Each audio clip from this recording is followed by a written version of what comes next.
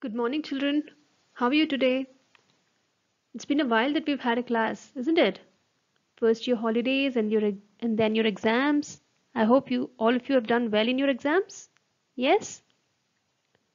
I'm sure you all did. So now uh, today we're going to start off with a new chapter, new lesson. All right? From the new reader. Till now we were doing your old reader. Now we'll start off with the new reader. And the lesson that we're going to start today is the blind man and the elephant. So the story is about a few blind men and an elephant. So now uh, can you tell me what do you mean by a blind man or a blind person? Hmm? A person who cannot see is called a blind person, right? And how many of you have seen an elephant? Most of us have haven't we? We've gone to a zoo, or maybe uh, your father was posted in a place where you could actually see a wild elephant. Yes? So we've already seen elephants in some way or the other. If not in a person, maybe on the TV. Yes? You all know what an elephant looks like, right? So if you had to tell me how an elephant looks like, what would you say?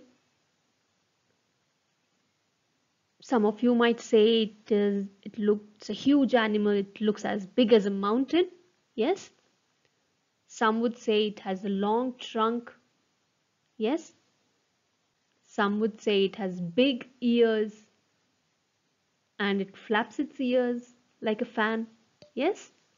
So when we uh, try to describe an elephant each of us will have something different to add to it isn't it okay so this lesson is something on the similar lines. All right? Let's see what happens in this lesson. Okay?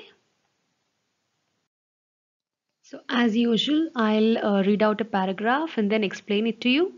All right? And we'll go paragraph by paragraph. All right? So the chapter name is the blind man and the elephant. Okay? Once upon a time a wise man came to a village with his elephant. The elephant's name was Gaju. It was very large and looked like a mountain. So there was this wise man who went to a village along with his elephant. And what was the name of the elephant? Gaju. Okay.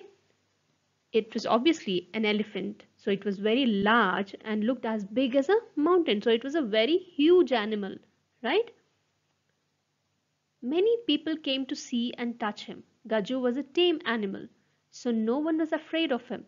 So elephants are not very common in villages, right? So what happened is many people came to see and touch Gaju. Who is Gaju? Gaju is the elephant, right? And nobody was afraid of Gaju. Why wasn't anybody afraid of Gaju? Because he was a tame animal. What do you mean by a tame animal? He was domesticated. He was gentle and he was domesticated right? So nobody was afraid of him. Everybody wanted to go see him and touch him. All right? Now, four friends also came to see the elephant, as none of them had seen an elephant before. They were very eager to see one. However, something was very different about the four friends. All of them were blind. Now, like everybody else, there were four friends who went to see Gaju. They had never seen an elephant and they were very eager to go and have a look at an elephant. But there was something very different about these four friends. Now, what was so different about them? They were all blind.